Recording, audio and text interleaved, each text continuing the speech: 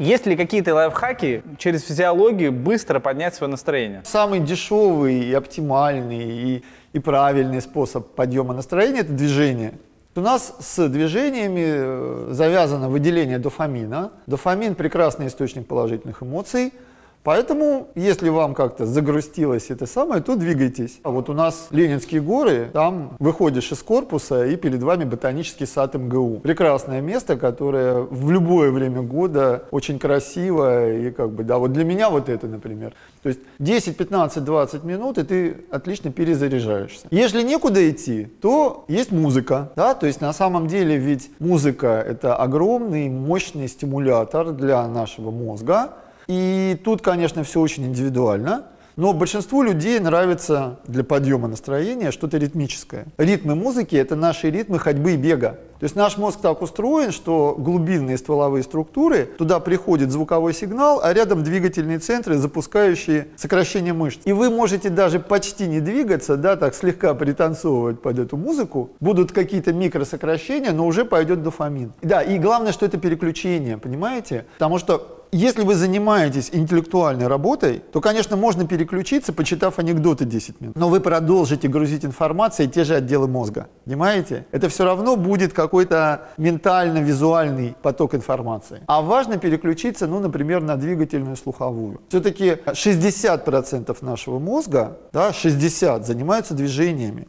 То есть мы, конечно, с огромным почтением относимся к нашим центрам мышления, принятия решения, там, сознания. Но две трети нашего мозга, даже не 60, немножко больше, занимаются движениями. Поэтому, когда эти нейросети начинают работать, все остальные нейросети тоже радуются. И плюс вот эта история про 10 тысяч шагов, она же тоже не просто так. Потому что на самом деле сейчас копятся данные о том, что благодарные мышцы и благодарные кости выделяют специальные вещества, которые благотворно влияют на мозг так называемые миокины. Ну, в общем, целый ряд молекул, да, которые вот в ответ от опорно-двигательной системы поступают на нейросети и говорят, то, что ты делаешь, это хорошо, спасибо. Вот, то есть раньше мы считали, что да, вот две трети мозга занимаются движениями, поэтому когда мы двигаемся, это для мозга хорошо, а тут, оказывается, есть обратная связь, положительная обратная связь, которая идет от мышц и от костей, на тот же самый гиппокамп благотворно влияет. А, например, разные дыхательные практики, холотропное дыхание или просто там тренировка, а это тоже влияет? Ну, дыхательные практики – это в основном работа со стрессом.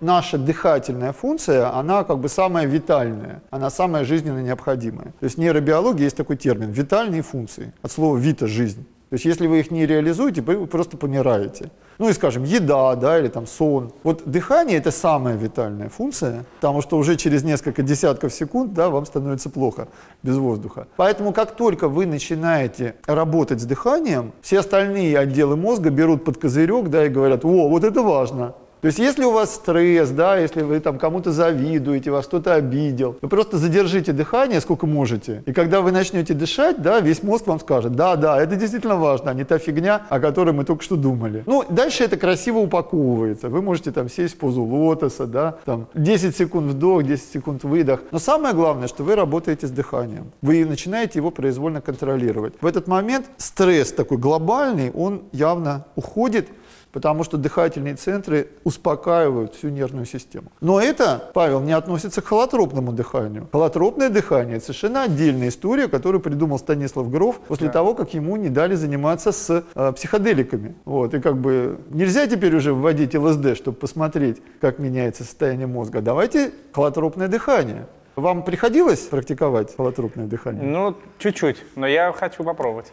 Ну, будьте осторожны, потому что на самом деле там что происходит? В тот момент, когда вы начинаете усиленно дышать, в крови снижается концентрация углекислого газа. То есть повышается концентрация кислорода, снижается концентрация углекислого газа. И все ткани нашего организма начинают насыщаться кислородом, кроме, кроме мозга. Почему? Потому что сосуды мозга, именно мозга, их тонус зависит от концентрации углекислого газа. То есть как в норме эта система работает. Вы каким-то отделом мозга более интенсивно перерабатываете информацию, от этого там больше углекислого газа, и от этого сосуды в этой зоне расширяются, ну типа я вот сейчас думаю затылком, да, давай затылку больше крови, больше глюкозы и все такое. Если вы начинаете за счет холотропного дыхания вымывать углекислый газ из крови, то идет тотальный спазм всех сосудов головного мозга. То есть если вы начинаете интенсивно дышать, вы чувствуете, что голова начинает кружиться. Да. Она кружится не от того, что там много кислорода, а от того, что там мало кислорода. То есть мышцы там, сердце насыщаются кислородом, а в мозге гипоксия. И дальше, если вы это делаете долго, как при холотропном дыхании,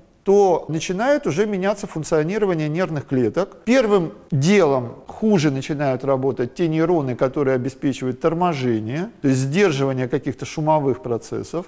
Ну и дальше человек может улететь в измененное состояние сознания, да. Но опасность заключается в том, что если у вас есть какие-то намеки на эпистатус в мозге, вы можете, например, получить эпилептический припадок или судороги какие-то, да. Ну то есть, в общем, не просто там с холотропным дыханием. Поэтому его делают только под контролем хорошего профессионала, тренера, если это вам вообще нужно. Потому что холотропное дыхание – это никакая не, не, не, не дыхательная гимнастика, а это выход в измененное состояние сознания. И я лично против.